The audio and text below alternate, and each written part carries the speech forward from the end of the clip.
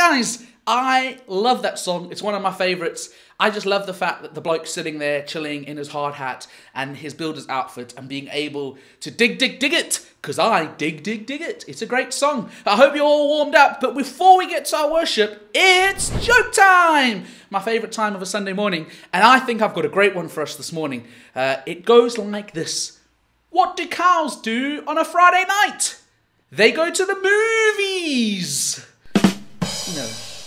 Please help me!